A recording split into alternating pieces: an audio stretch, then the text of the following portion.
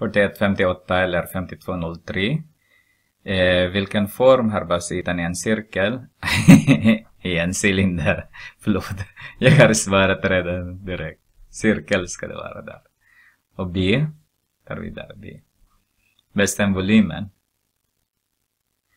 Eh, så har vi V är lika med basytan multiplicerat med höjden.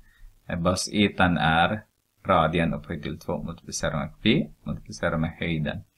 Så har vi radien eh, diametern är 6 så måste vi ha 3,0 och till 2 multiplicerar med p multiplicerar med 7,0. Så den som är exakta är 9,0 multiplicerar med p multiplicerar med 7,0. Då har vi 9 gånger 7 är 63 Eh, 0,0p. Och det här är kubikcentimeter eller ungefär.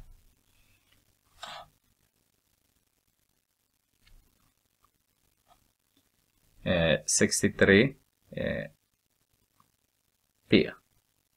Och det är ungefär 198 eh, kubikcentimeter.